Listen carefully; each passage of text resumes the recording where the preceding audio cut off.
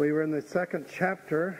We came down through where Paul says in Galatians 2:20, "I'm crucified with Christ; nevertheless I live, not yet not I, but Christ liveth in me. In the life that I now live in the flesh, I live by the faith of the Son of God, who loved me, gave Himself for me." You know what Paul was literally saying is, for me to live, he said, I died to myself. That is, I died to my own desires, my own will, my own way. That's a mouthful, isn't it? And for me to live today, because I've died to the old way I lived, is for Jesus Christ to reproduce his life in me and through me. Boy, wouldn't that be great if we could all say that from the bottom of our soul? That's a good goal to shoot at, isn't it? The old apostle said, emulate me, and not uh, to paraphrase, he said, emulate me as I emulate or am a copy of Jesus Christ. You, it's all right to go along with me.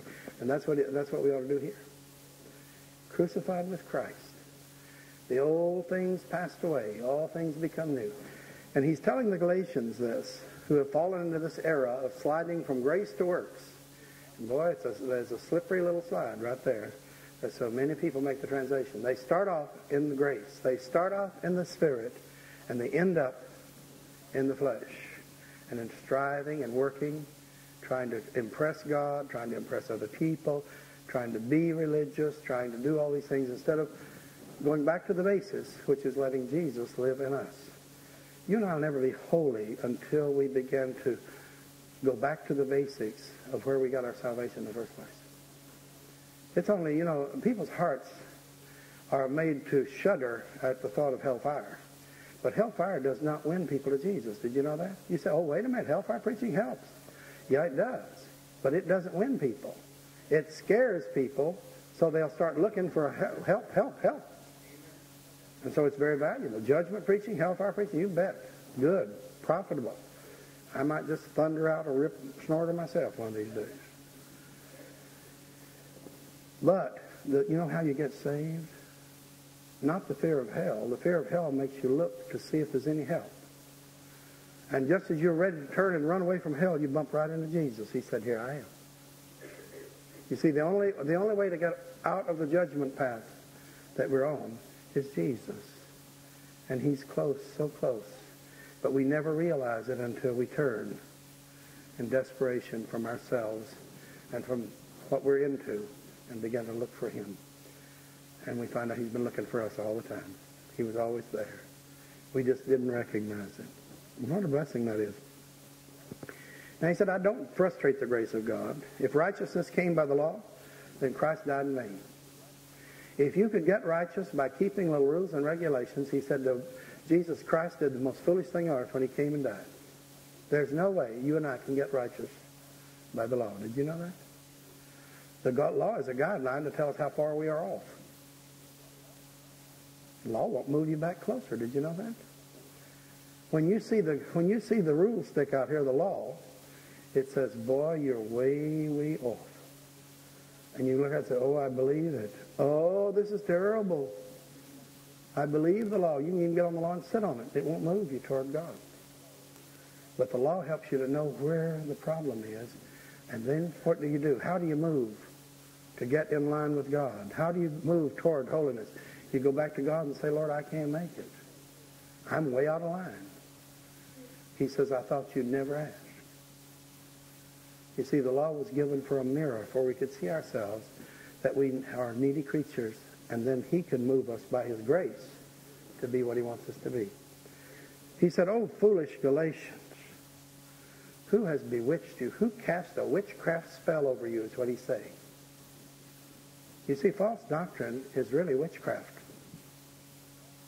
Unsound doctrine is witchcraft. And he said, Oh, foolish Galatians, who has cast a spell on you that you should not obey the truth, before whose eyes Jesus Christ has evidently been set forth, crucified among you? He said, Who has thrown a spell on you?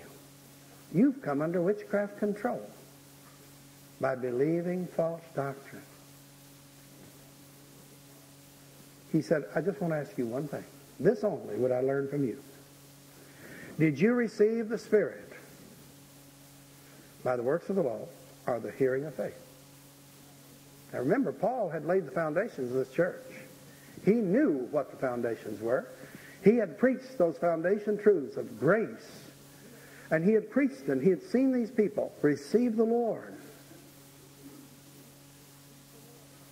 He had seen them ask Jesus in their hearts and repent of their sins and, and receive the Lord.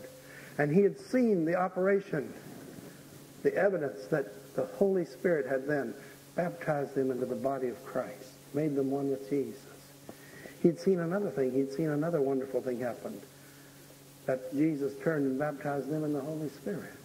And they began to speak with other tongues and to move in power. Now remember, these people are not weak, wobbly people. These, this is a strong, sturdy church, but it had been invaded by termites. And they were boring from within. And termites do their most deadly work when you don't know they're working. While you're sleeping in your house at night, you have no idea they're eating away the foundations. And while they slept, happy in their their their grace and wonderful love, false teachers slipped in and began to cast a spell over them. We have a new doctrine, a glorious new truth that you don't have. It always looks good. That's why Christians are in, that's why Christians are hooked on it. What they didn't notice was it didn't match up with what they had been taught. Remember earlier, Paul says, or is it, uh, the, I believe it's earlier, he said, if I are an angel, come and preach to you some other gospel than the one you received, let him be accursed. That's strong words. That's how sure he was of the foundations the Galatian church was on. And he said, I want to ask you one thing. You Galatians who are spinning around in this thing, you're so busy now, you got your little checklist out. Let's see. I don't do this, therefore I'm holy. I do do this, therefore I'm holy. I don't do this, so I'm holy. And you got your do's and your don'ts, and your do's and your don'ts, and your do's and your don'ts. You can't have, you know, you don't have time for all the checklist, plus concentrating on hearing from the Father and you get legalistic. And pretty soon, if you get your check, you know, if you go down the checklist far enough, I'm doing pretty well. Of course, I'm humble. Too bad about those other people. I need to pray for them. They're not upon my level. Bless their hearts. And then, of course, if you try to share your glorious righteousness with them, and they say, well, wait a minute, we're walking a grace route. How dare you? Here I am holy, trying to give you all this righteousness. And you're rejecting it. They get angry. You see, the Galatian heresy always brings with it pride, Pharisaism, the ability to look down your nose at everybody else because you're spiritual and nobody else is. Let me tell you something, people. Every single one of us is vulnerable to this thing. That Galatian church was on rock bottom. I mean, she was be- based on bedrock. And that devil, the devil was so subtle, he sent in religious teaching spirits and he threw a net over them, and they didn't even know they were hooked. They got busy. Ooh, they started working.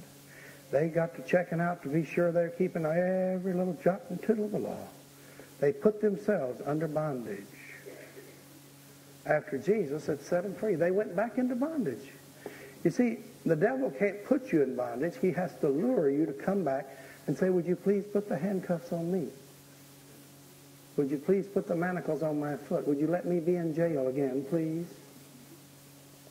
Jesus set me free, but I understand that in order to prove something or other, I'm supposed to go back and get in the cage again. No, no, no. And he has to talk us into that. And none of us are smart enough, are strong enough, not to occasionally be affected by this. After you've been through it a few times, you've been through a few trips to the cage, you get to where you say, uh, uh-uh, it took me a long time to get out of that thing last time I messed around with it. No way. I'm not getting in there. No, no, no, no. There's a better way. God's got better things for us than that. But he says, Did you receive the Spirit by the works of the law? Did you work out a checklist so you get where God could hit you with the Spirit? Here, a lot of people going to run around saying, Uh, you got the Spirit? I hear, I hear people a lot of times talking in charismatic circles. It's real bad. You know, they come in and say, uh, she hadn't got the Spirit. Friend, if you have not the Spirit of God, you're none of His. You're, you're, you're talking in you're talking in in impossibilities. When you get saved, Jesus and the Holy Spirit, the Father, all are operating in conjunction. The Holy Spirit takes us and baptizes us into the body of Christ. He makes you one with Jesus. You say, I didn't know that. I didn't either. It happened to me many years ago, and it was years later that I found out what happened. Course, I enjoyed it better after I heard about, you know, how what it was that Jesus did, but I didn't know that the Holy Spirit did that. He didn't stop and say, now, Worley, would you like to be baptized in the Holy Spirit? He just did it because that was essential. That put me into the body of Christ. Now, then I heard about another experience whereby the Holy Spirit, or Jesus, would take you and baptize you in the Holy Spirit. So I went to a lot of meetings looking from people that talked about this. And I thought, well, if there's more, I know I'm saved, I know I'm born again, but if these folks are moving in an area I don't know about, I'd like to know about it because I did read over in Acts that it said not many days hence that the Holy Spirit would baptize them. They'd be baptized in the Holy Spirit. And of course, I'd been taught it had already happened and everything else, but I didn't see that much difference. When that bunch over in Acts got hit with that, they, they changed, didn't they? And I thought, well, I'm changed, but not that much. And if there's more of it, I won't know about it. Well, I went to a lot of meetings. I heard Oral Roberts when he first started preaching. I heard Jack Coe. I went, I traveled across the country. I heard a lot of the people that were on the trail. But you know something? I went to churches. But I saw so much false doctrine being taught that I drew back and I said, uh-uh. How can this be right if there's so much here that's completely crossways with the Scripture? And so for years I went along and didn't find this. Then I went to Baptist schools and I went to the Dallas Seminary. And you talk about heavy inoculation, but I got it. I knew that this was not really for today. It had happened to some people back there, of course. It was obvious. It's in the scriptures. You don't deny what's in the scriptures. But it didn't happen now because it wasn't necessary. It wasn't this. It wasn't that. And then after we got into casting out demons, most of you are aware of how the Lord literally shoved me into it. Now, this Baptist preacher has heel marks skidding all the way up to tongues. I wasn't, I wasn't ready for that. I didn't think. But God was ready. And he was speaking to me. And when he did, it took about, after somebody prayed for me, it took about 30 days for the theological fences to fall. When those theological fences had been built so strong and powerful in my mind against this thing, when they fell, then, the, then this thing took effect. And I began to be able to speak in other tongues, and other things, marvelous things began to happen. I want you to know I was saved, and I preached and saw hundreds of people saved and blessed and into the Word and a whole bunch of other real good things. I even saw some people healed. I'd seen people freed from demons. And then this thing came, and it gave an added dimension. And the next thing you know, our entire little church began to hum and bubble with new vitality.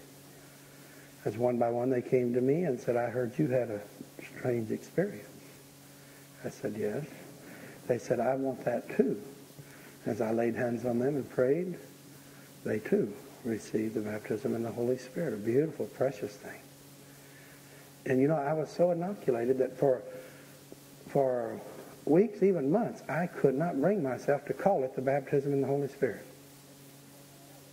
I called it, oh, I don't know, I called it a heavenly language. I called it this and I called it that. And I had it, and other people, my, all the people in my church had it. And I couldn't bring myself to call it the baptism in the Holy Spirit because I knew that wasn't right. Of wrong terminology.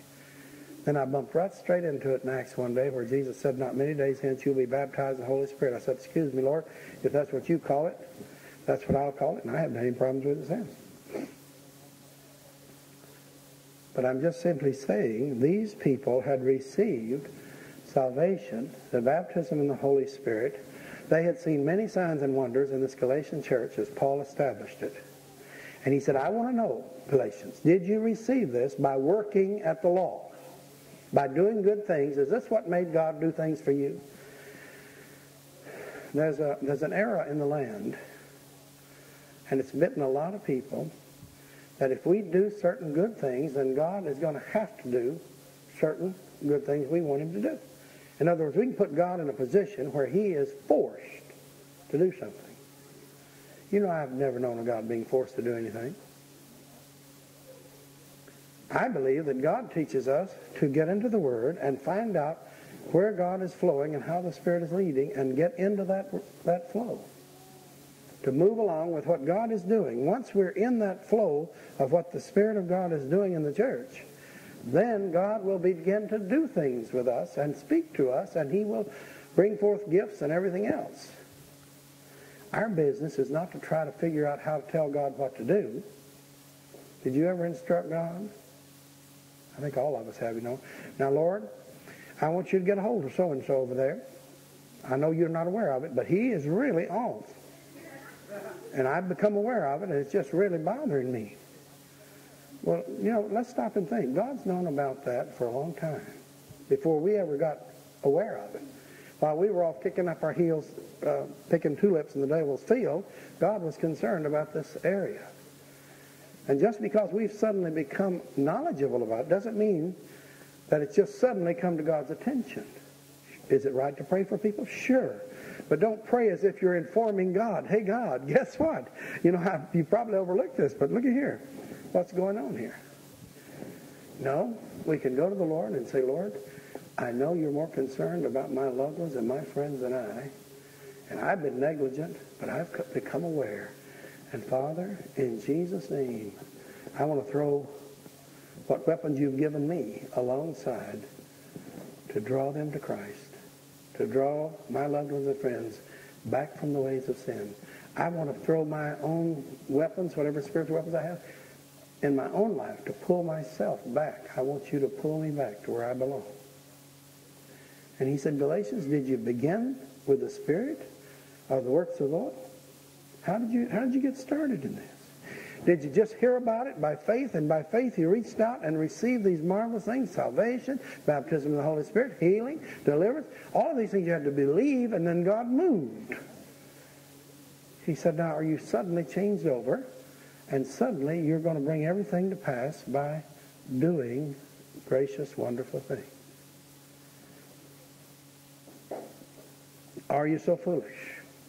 Verse 3. Having begun in the Spirit, he said you were moving so well. You were doing so great. You were moving in faith and believing God, and, and you were looking to Him for leadership. Now, suddenly, you've got your checklist out, and you're worried about a checklist. Now let me, uh, let me uh, underscore something here. When you and I begin to flow with the Lord, our lives will change.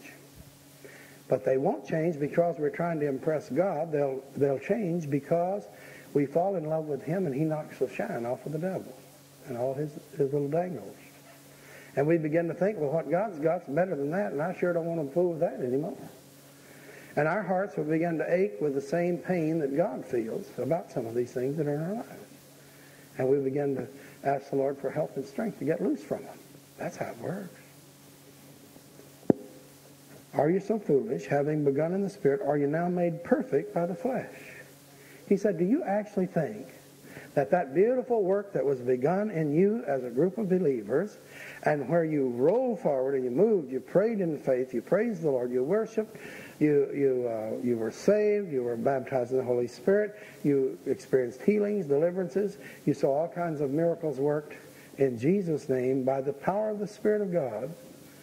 He said, after all that, do you mean you're going to make perfect what God is doing in the flesh? You think that some fleshly thing is going to come up and make perfect the work of God?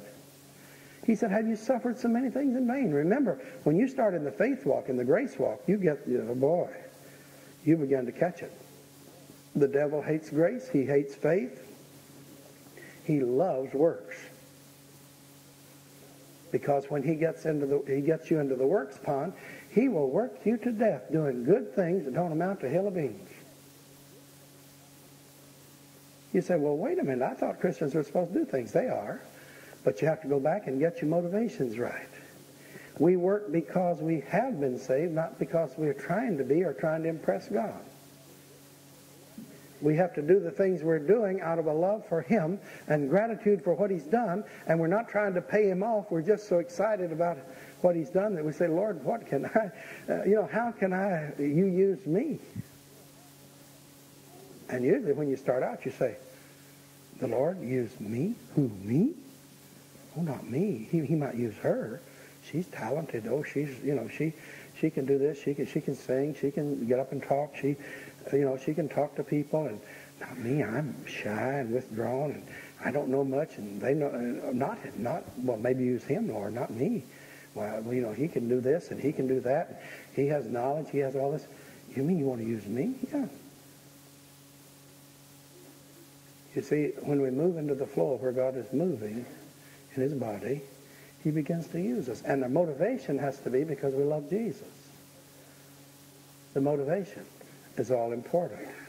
And of course, you can't have right motivation unless you love. If you just are going through the motions trying to impress yourself or impress God or somebody else, it won't work.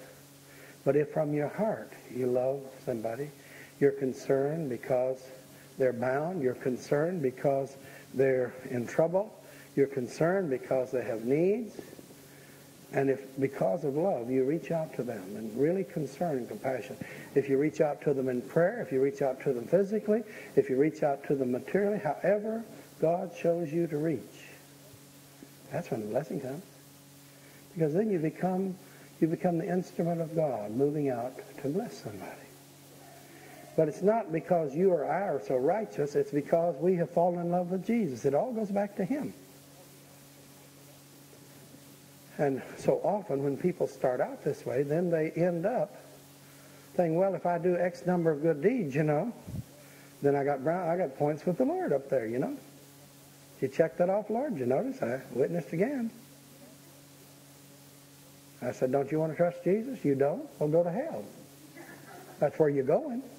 Did you know some people are actually that blunt? And they get their little book and they check it out. Well, I did my best. That's not doing your best. Hmm? You'd be better off not to witness to so many, but to spend time in prayer and ask the Father to lead you to the ones who are ready. If you witness to 20 in a day, and nobody is really moved by God, how much better it'd be to witness to two who are actually God has prepared, and they either ask Jesus in their heart, or you bring them along under God's leadership. You lead them to a place so you can leave them, and God will send in another worker who will bring them across. You say, well, no, I want to do it. Well, now, wait a minute. Haven't you ever read that some plant, some water, and some harvest? You say, well, I want to be the harvester. Who wants to plant? How dull can you get? You don't get to see nothing. No, because it takes faith to plant, doesn't it? I don't want to be sprinkling all the time. I want to be there when you bring the bring home the bacon. I want to be there when it uh, chalk it up. I led another one to the Lord. You may have very little credit as far as God's concerned. The groundwork was done by the planting and watering. Some old grandmother in the closet's gone to be with Jesus. Prayed for that wayward boy long before you knew he existed. She wept and cried in the closet and finally went home to heaven without seeing him saved. And you just happened to be on the way, and God, by a series of things, had brought him around, and you happened to be there when the harvest came in. That's why it's not wise to get all charged up on, I led 500 people to the Lord last year. Well, that's all right, but don't get all high on it. The main work may have been done by somebody you never heard of. Chances are it was. We're all in a team, don't you see? There are too many people trying to be all the whole thing. They want to be the whole show. Did you ever see a football team play? I you as sinners, did you? Yeah, you've seen it, haven't you? Does just one fellow grab the ball and run with it, and the other team stand on the side and said, well, shoot, if I can't carry the ball, I'm not going to play. Let him carry the ball. He's got it. What's going to happen to the ball carrier? Well, he's going to be slaughtered. And when one of the guys goes across, he has the ball, and he gets, well, supposing the ball is passed or kicked and, to somebody and the guy that's aimed for doesn't get it. But another teammate grabs it and he starts running with it. The one that was supposed to get it said, Well, hmm, you got in my way. I was supposed to do that. And when the guy runs across the line, all the other team members says, Well, I hope you're satisfied. You're some kind of glory grabber. Well, you know that's not the way it works. When that ball goes across the line, that team doesn't care who's carrying the ball. Even the fellows sitting on the benches are not even out there running. They go wild, don't they? You ever see them? They say churches are strange. You ought to watch one of these sporting events. They actually go nuts. They jump up and down and holler and scream and hug one another and throw one another up in the air. It looks like there's a battle going on out there among the winners. They get so excited. Why? Because their team scored, not because that one person did. Same thing with ball games. And we forget so often that moving in the Lord's army is a team effort. We need to be happy to have a part in what's going on. Amen? We can rejoice because we get to have a part of it. And everybody gets to rejoice when our team wins, right? When a demon leaves screaming, all our people say, Oh, there goes another one. Praise the Lord. I didn't throw him out, but one of my brothers and sisters over got him treed. Praise the Lord, huh? When somebody gets saved, everybody's happy. Don't stand around and pout and say, well, I'm going to get one too. What a ridiculous attitude, you know. This is a team effort. The Holy Spirit is flowing. Brothers and sisters working together to smash the works of darkness. The Galatians had tried to switch over they had suffered so many things for standing for the right. And he said, Have you suffered so many things in vain? If it is in vain, if it's in vain to be in grace and, and to be going by the grace principles, he said, And you've suffered all these things for nothing. You took all this abuse. You left your works religions. You left off serving false gods and idols where you worked your way into good works and all this kind of stuff. You left your works religions and you came to Jesus and threw it all overboard and said it's grace and praise God for grace the marvelous grace of Jesus. And then your families turned on you, and your friends turned on you, and you suffered all kinds of reproach, and, you, and they came at you at work and everything else, and you suffered all these things. And he said, and you didn't really have to, because if you're just going to do another works religion, you, there was no need for any of it. So everybody loves a works religion that's in the world. He therefore that ministereth to you the Spirit works miracles among you? Doeth he it by the works of the law, by the hearing of faith? He said, even these boys that are strapping you so tight to the law, said if they move in the Spirit and work miracles in Jesus' name, are they doing that by the law? Did they read you a little set of rules and regulations? Is that what makes the miracles happen? Or is it done by faith and speaking in the name of Jesus Christ? Remember, even some of these teachers carrying the wrong things can produce some goods if they know enough to move in the name of Jesus. They'll soon phase that out. One thing about a works religion, when you get over in it, you soon phase out. Pretty soon you're not sure of your salvation anymore. And pretty soon, then you have to come up with some perfection scheme so that you can be perfect and you don't have to be afraid.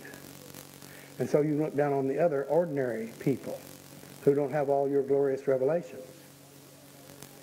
And you move out of the ordinary into the theological tower of perfection. And you work out some little system whereby you don't have to be afraid, but the other people do.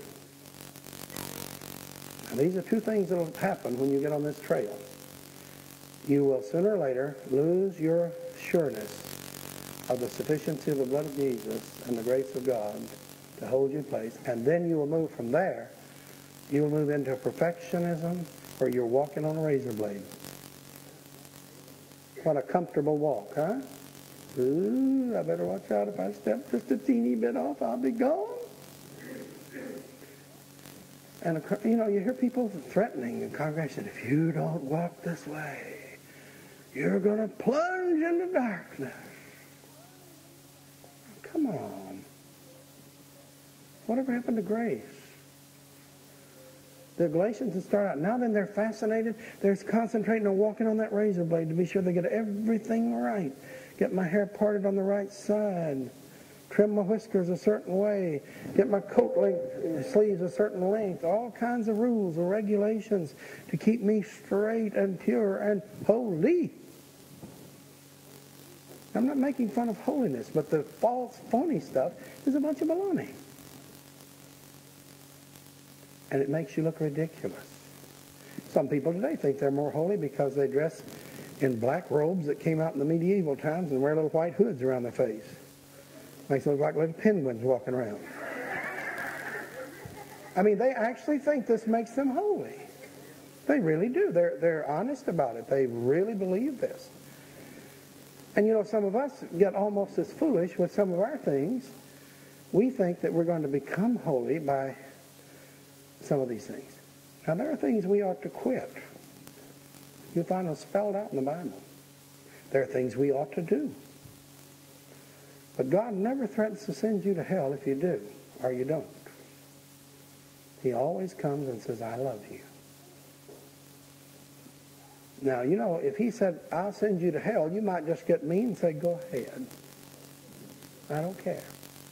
But if he comes at you and said, I love you, That'll knock the daylights out of the stubbornest man, most rebellious person. I don't care who it is. We got a sign over that entry door out there. It says, Jesus didn't say, I love you if. He doesn't say, I love you if. He just says, I love you. And that's a little old motto, but it has a lot of meaning to it. Jesus doesn't love us if, he just loves us. And I don't understand that. But there's nothing can make me feel more like crawling in a crack than for God to come at me and say, son, why do you have this ugly attitude? Why have you done this or not that? I said, I suppose you're mad at me. No, he said, I love you. Ew. That's bad. You know, that's, that's bad news. You don't want to hear that. You know you're a stinker. You know you got blocks in your life. You know you've been stubborn against the Lord, and then he comes up instead of jumping all over you and fussing at you, he just said, I just thought I'd like to tell you how much I love you again. Ooh. Did you ever melt in your closet? Give the Lord say, Lord, I'm sorry. Ooh. I am undoubtedly the most ungrateful creature you've ever saved. I don't know why you'd want to save me. And then it all starts coming out and unraveling, doesn't it? Hmm? And God said, I don't require all this. Just that you be recognized where you've slipped and fallen. Now let's, let's go back and, and fix it up. He's the God of beginning again. Oh, my, my, my. I've never in all these years, well, let's see, what am I about in the 38th, 39th year of pastoring churches? The thing that still amazes me is how gracious he is with us, how patient, how loving, how kind. Oh, he puts us to shame all the time, doesn't he? And always he loves us, but he has a firmness about it. And don't kid yourself, he doesn't have a razor strap. Now, you may not know what a razor strap's for. It's to sharpen razors. But when I was a kid growing up, it sharpened more than razors. It's a thick leather strap, and woo, does it burn when applied low and hard across somebody's stubborn seat. I was, uh, my dad uh, was a great believer in the biblical principles, including spare the rod and spoil the child. And he knew how to apply that liberally, and I want you to know something. It headed me off from a lot of things. All of us have demons, you know, that drive us to do things. And demons would, of course, come at me like they do you and everybody else and say, come on and do this. I said, no, uh, I'm not supposed to do that. Oh, it won't make any difference. Nobody will ever know. But you know, there were times when I leaned that way and the thought of that strap behind the door and the uncanny way that my dad always found out, no matter how carefully it was hidden, no matter how nonchalantly I came in, son, yes, sir. Wasn't no yeah, no in my house. Yes, sir. Yes, ma'am. No, ma'am. And I don't know till this day how it happened, but he had a way of finding these things out. And judgment was as sure as the rising of the morning sun. I mean, there was absolutely no escape. There were times when there was a delay. Maybe we had company. And my dad didn't like to hang family matters in front of company unless it was absolutely necessary. And there were times when I was doing something and my dad walked up and said, I told you not to do that, son. Yes, sir. And he had blue eyes. And at those times, they had a steely quality that just gave them a, a sort of like piercing quality that went right through me. And I thought, oh. Because you, you see, if he told me not to do something and I did it, judgment was very near. But we had company, you see. So he went on and he talked and he laughed. And I thought, maybe he's forgotten. Wouldn't that be great? You know, it's always the first time. And I'd kind of get relaxed and happy, you know. And very good, of course. Very good. Oh, yes. I mean, boy, I told the mark. No more. I didn't want to remind him that there had been a misstep back there, you see. And maybe he would forget. Maybe he'd forget all about it. But oh, it didn't work. As soon as the company was gone, goodbye, we're glad to see you. Happy days. I was getting ready to go to bed. I usually got very sleepy at times like that.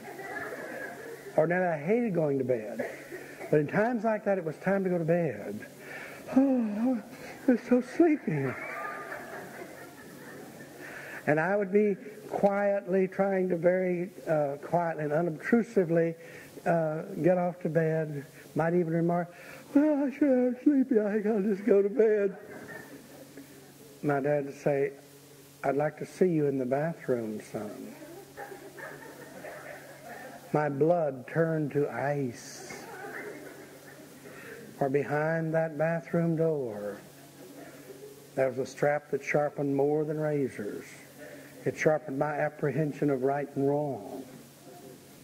Sharpened my awareness.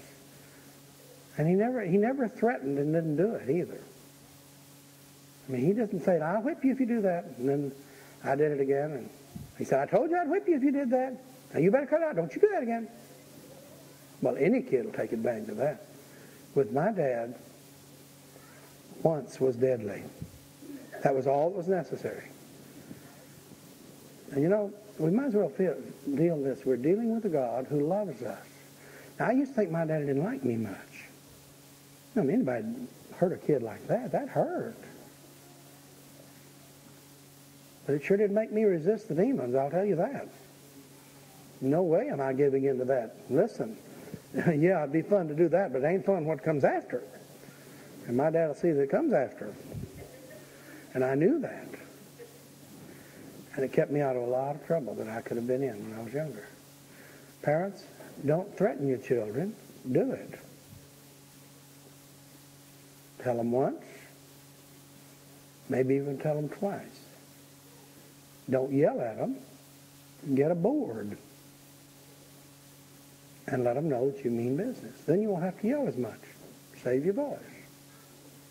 You'll always be hoarse from hollering. You won't be frustrated either. They'll soon learn. Well, he said, It's by the hearing of faith these things come. You just don't mix works and faith. It just does. They don't mix at all. They're not the same. It's like oil and water. They won't mix. You're either going to have to go works or faith. You're going to have to go grace or works. If it's by grace, it's no longer works. If it's by works, it's no longer grace. And oh, that we could get a fresh look at the grace of Jesus. The law came by Moses, the scripture says. Grace and truth came by Jesus Christ. My, I'm so glad, aren't you?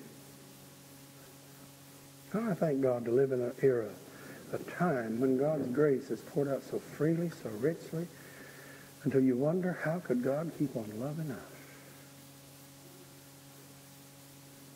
Imperfect creatures, and yet he said, I'm going to tear down strongholds. I'm going to use you as my army. I'm going to give you power over all the power of the enemy. Lord, can you trust people like us with power?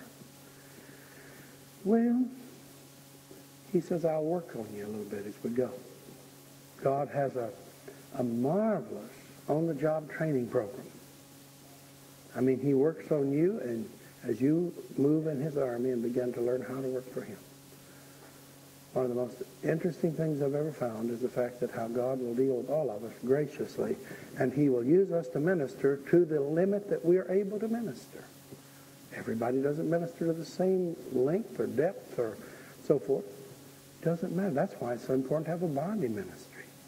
Because where one believer's ministry runs out, and this is as far as they can go, this is as much as they know, this is all they can handle, they can turn to some other believer and say, hey, I'm stalled here, I need some more help.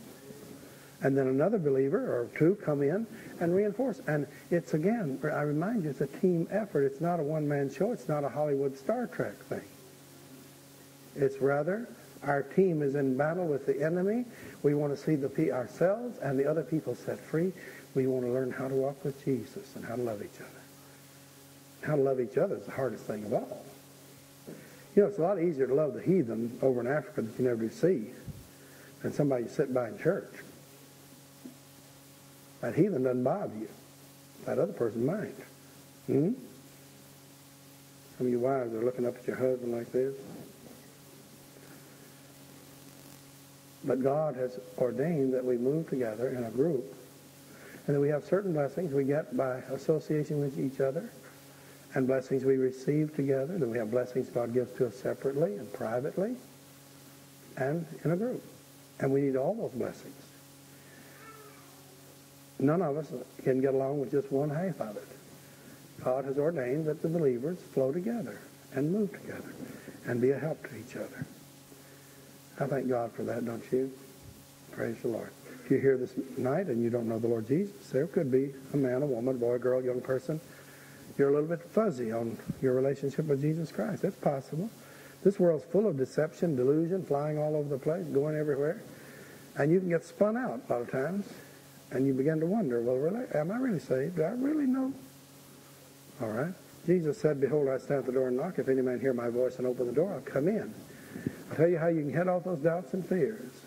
This was taught to me when I was a baby Christian many years ago over in China in the service. I had a prayer partner from Tennessee, and he, he taught me this.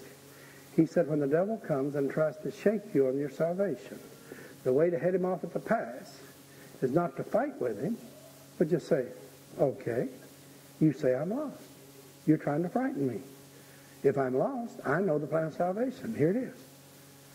It says to ask Jesus come in your heart. Lord Jesus, if I've never really asked you in my heart before, I'm asking you here now, come in my heart and save me. And you know, it wasn't too long after I did that a few times, the devil cut that out. Because every time I did that, the Lord Jesus just said, "My son, son you're already saved. What are you What are you concerned about? I've already come in your heart." And it just made my salvation more real and precious. The only thing you people get upset if you say, why don't you just say, Lord Jesus, if I've never really asked you in my heart before, I'm asking you here now, come into my heart. The only reason somebody get upset about that is if they're not really sure. Doesn't bother me. Shouldn't bother you. And if you'll do that with the devil several times, when he starts working on your mind, trying to spin you out and make you think this and think that, if you'll start doing that on him, you'll find out pretty soon he'll he'll decide to go a different route in his attack on you. He will not attack there. That's how you can settle it tonight. And if it doesn't settle the doubts and the fears and the confusion that you may have concerning your relationship with Jesus, by all means come forward and just tell one of the workers up here, I need to talk to somebody about salvation. Someone will sit down with the Word of God, go over God's plan of salvation carefully with you, and see if you are resting firmly on what Jesus said you needed to do to be saved. If you are, you can stop doubting, stop being confused, start rejoicing. That's good, isn't it? If you happen to have been on the wrong trail, if you've got off in one of these works religion, got starched and iron, never washed in the blood, then that worker can show you how to get into the right plan of salvation tonight, and you still win. Amen? That's not your problem, but you're driven, you're harassed, tormented, and this is producing compulsive behavior, which is slowing down, stopping, reversing your spiritual growth and progress. This is how demons operate in lives.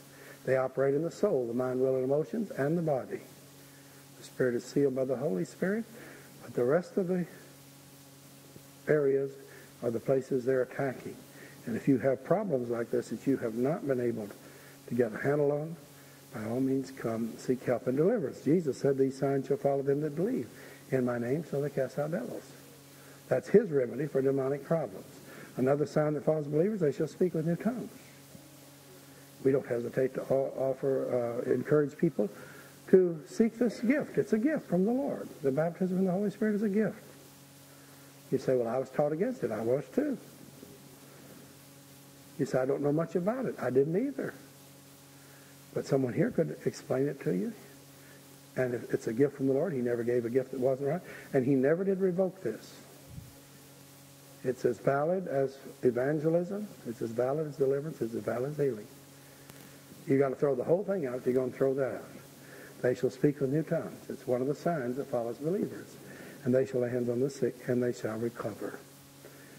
There are people here who believe that Jesus heals and would pray with you concerning physical needs. Let's stand saying something about that name. As we do, if you have a need, we encourage you to come and seek help in prayer.